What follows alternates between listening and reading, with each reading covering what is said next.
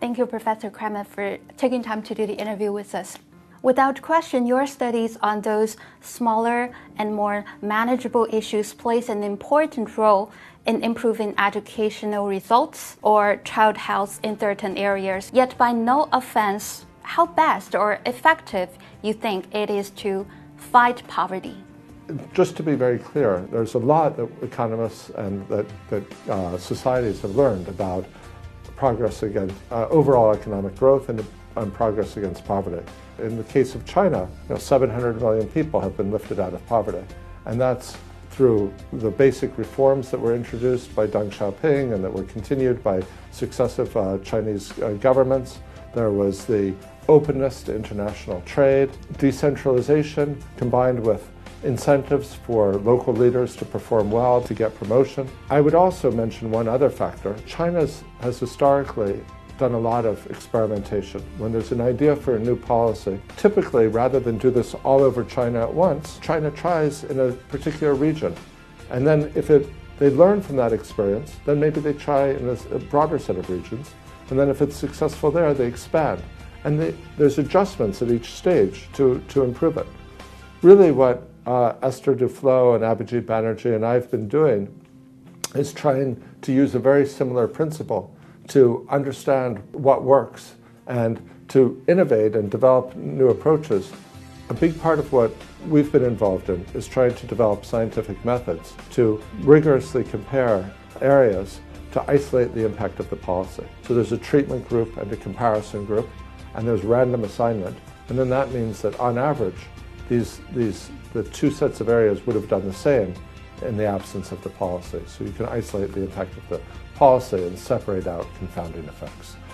Yes, that can be used in education or health, but actually can be used in many other areas in agriculture, finance, even in, in issues of finding ways to reduce corruption. Uh, it's been used by businesses to try to find ways to increase productivity. I don't want to claim that this technique alone is somehow magically going to transform societies, but I think it can play a very constructive role across a range of sectors in coming up with new innovative ways to make progress on a variety of social goals.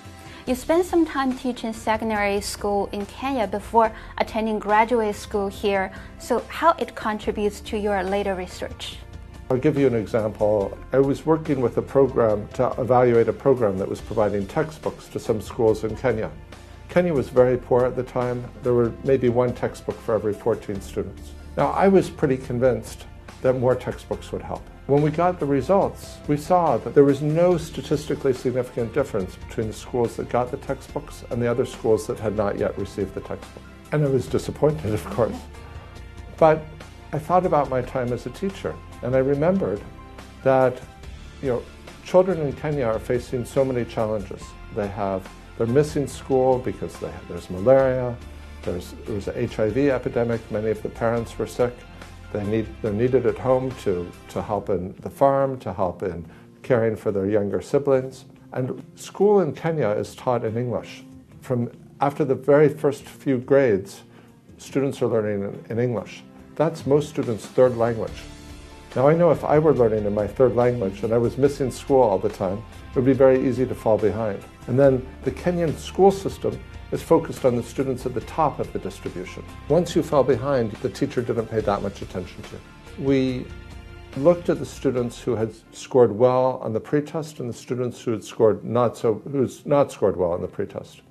And we saw for the students who did not score well on the pretest, there was no improvement in the schools that got textbooks compared to the other schools. But for the students who scored well on the pretest, they did much better if they in the schools that got textbooks compared to the schools that didn't. So that was some support for the hypothesis that the the problem was that children would fall behind to the point where they couldn't benefit from the normal curriculum. To come to your original question, when I was only thinking about this as an economist, thinking about the lens of existing economic discussion, the focus was on do more resources help or do they not help?